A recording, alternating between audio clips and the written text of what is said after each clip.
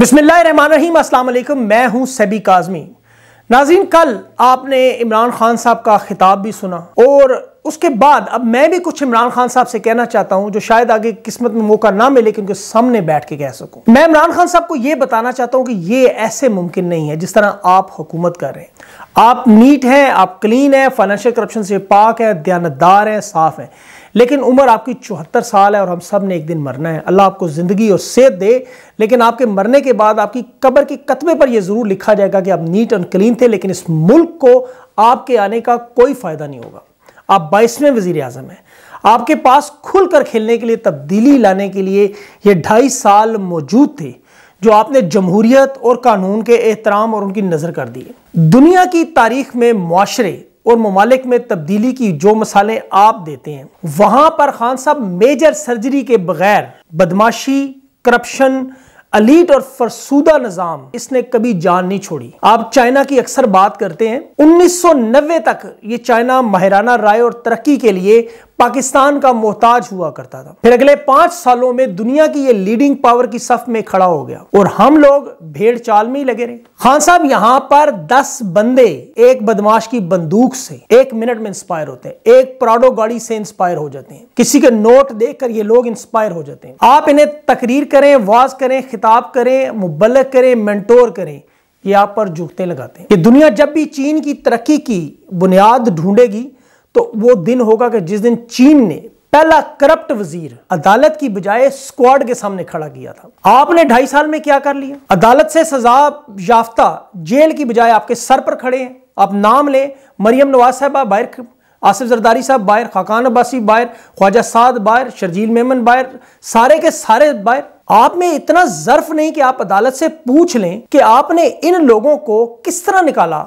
आप छोटी छोटी मछलियाँ पकड़ते रहे मगरमच्छ बाहर निकल गए। मतलब आप किस तरह खान साहब तब्दीली लाएँगे? ये कोई मसाली कौम नहीं है। आप पाँच साल के बाद, अगले पाँच साल की भी आपकी गारंटी नहीं दे रही। आप जरा बाज़ार में निकले, आपको लोगों को बताएँ, करंट अकाउंट हमारा जो है वो किधर जा रहा है? बरामदात हमारी बेहतरीन हो गई है। ईज ऑफ़ बिज़नेस डूइंग हो रहा है, ये हो रहा है। आप एक बंदे को मुतमिन नहीं कर सकते, क्योंकि ये अवाम और ये कौम उसे सच मानते ही नहीं। आप जब तक इनके ऊपर वो बीते ना, आप खुदा के लिए ये अदालतों की ताबेदारी, कानून का एहतराम, ये आपके भाषण, ये तकरीरें, ये जो वोटर हैं, इन्होंने अदालत को नहीं, इन्होंने आपकी ललकार को वोट दिया है। जब आप तकरीरें करते थे, हम जैसे लोग उसे समझते थे। ये इदारा और इदारों की ताकत आपके पास है, आप खुद कहते हैं, आप सब एक पेज पर हैं। आप सिर्फ़ पंजाब में पुलिस के अंदर रिफॉर्म्स करें 20 साल तक आपको कोई हरा नहीं सकता। आप कम अज कम सियासत की इस साइंस को समझें कि पुलिस गर्दी और पुलिस का खौफ खत्म करें। आप देखें कि पंजाब में से 99 परसेंट अपोजिशन घर में बैठकर हार जाएगी और पुलिस उनके ऊपर से हाथ उठा ले आप खुद कुछ करें, एफबीआर, पुलिस पटवारी कल्चर, इन्हें हंगामी बुनियादों पर अदालती निज़ाम, इंसाफ का निज़ाम, असल निज़ाम, इलेक्शन कमीशन, ये नाअहल लोग हमारे सरों पर जो बैठ जाते हैं, ये आपके इकदाम के असरात अवाम तक तब पहुँचेंगे। आप अदालतों से दो टोक बात करें, आप ये चोरों को गाड़ियों में असम्बलियों में नहीं, बल्कि इनको स्क्वाड के सामने खड़ा करें। लोगों को पता चले आपको किस लिए लाया गया है। आप कह देते हैं, सबूत नहीं है, अदालत जाने, हम जाने, हम एहतराम कर। ये गर्दान छोड़ दें, कौन सा एहतराम? ये आप, आपसे पाकिस्तान की बेहतरी कैसे? यूसफ रजा गिलानी नाहल सेनेटर बन जाता है। एक आम कारकुन से हार कर सेनेट में बेहतरीन निशस्त मरियम साहिबा लीड कर रही हैं। मतलब ये सस्ती ईमानदारी आपकी और ये इसको अपनी सुस्ती की भीट मत चढ़ाएँ। जिस तरह आपके मुखालफीन है आपको उनके साथ वैसे डील करना पड़ेगा।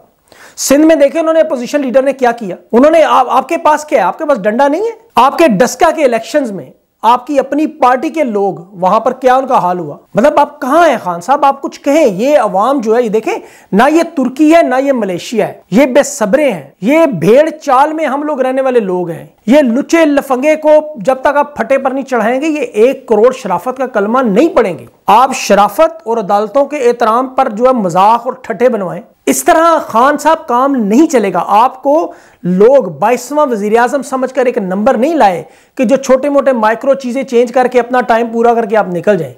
आपको समझना होगा, आप किसको ठीक करने चले हैं। यहाँ पर बड़े से बड़ा स्मगलर हमेशा हाजी साहब कहलाता है। आप गौर करें, आपको पता लग जाएगा, आप किसको ठीक करने चले हुए जिनके घर के बाहर, हाजा मिन फजल रबी इसलिए लिखा जाता है, ताकि लोग ये ना पूछें कि आपका घर कहाँ से आया, आपके पास जराए कहाँ से आए, आपकी मनी ट्रेल कहाँ है, आपके पास एसेट्स कहाँ है, ये सारा आपने कहाँ से बनाया? वो लिखता इसीलिए कि खबरदार मुझसे ये मत पूछना कि मैंने ये घर कहाँ से बनाया। आपकी डीलिंग इन लोगों से है। आप किसको ठीक करने जा रहे हैं? कि जहाँ पर मुजरिम का जो दिफा है वो इस्तगासा का वकील कर रहा होता है और लोग वकील करने की बजाय डायरेक्ट जज कर लेते हैं। आप उस मुआशरे को ठीक करने की कोशिश कर रहे हैं। यहाँ पर मुकदमा जीतने की बात होती है। यहाँ पर मुकदमा लड़ने की बात नहीं होती। आप किसको ठीक करने जा रहे हैं कि जहाँ पर नंबर एक होने के लिए, आपको एक ईमानदार आदमी होने के लिए, ठीक होने के लिए पहले नंबर दो होना पड़ता है। मतलब ये अब माशरा आप जरा समझने की कोशिश करें खान साहब, शायद ही आपको ग्राउंड रियलिटी लोग नहीं बता रहे। आप किसको ठीक करने चाह रहे हैं कि यहाँ पर मोरूसियत को, खानदानी सीट को जमहूरियत कहा जाता है। एक वसीयत के पेपर पर पूरी पार्टी चल जाती है। एक वालिद बाहर से एक फ़ोन करते हैं, एक नाहल बेटी पूरी पूरी पार्टी और पीछे सारे बड़े बड़े मुस्टंडे खड़े। अब यहाँ पर हके राय दही, वोट, कीमे वाले नान और बिरयानी के डब्बों में तकसीम हो जाता है। उसके अंदर वोट है आपका। आप किसको ठीक करने जा रहे हैं? कि जहाँ पर अरबों हड़प कर जाने वाले एक धेले की करप्शन ना करने की कसम उठाते हैं और उनके फॉलोअर सारे मान लेते हैं। मतलब आप समझने की कोशिश करें इन बातों को। ये मेरा पैगाम है आपको। और जो देखने सुनने वाले पाकिस्तान तहरीके इंसाफ के जो कारकुन है, वो इस बात को सेकंड करेंगे। आप किसको ठीक करने जा रहे हैं?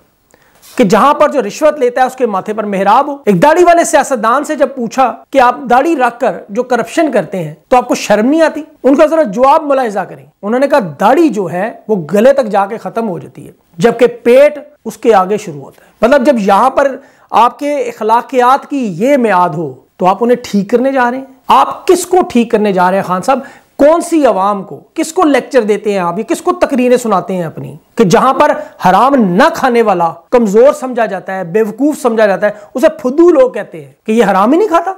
मतलब आप किसको ठीक करने जा रहे हैं? इस कौम को किस आवाम को, किसको आपने कल वो खिताब अपना सुनाया था? कि जहाँ पर करप्शन से लंदन में फ्लैट बनाने वाले सियासतदान की बेटी की कोई जायदाद ही नहीं, और लोग सारे मान लेते तीन तीन मरतबा वो नाअहल भगोड़े मुजरम और लोग उनकी तकरीर सुनने के लिए बाहर खड़े हो जाते हैं, उनके लिए नाचते हैं, गाते हैं। आप किसको ठीक करने जा रहे हैं, खान साहब? जहाँ पर बदमाश को शरीफ कहते हैं, आप किसको ठीक करने जा रहे हैं? जहाँ झूठ बोलने वाला मशहूर होकर एक बड़ा साफी बन जाए। जितना बड़ा झूठ, उतना बड़ा साहफी। और फिर ये अदालतों में जाकर जो बातें करते हैं, आप किसको ठीक करने जा रहे हैं?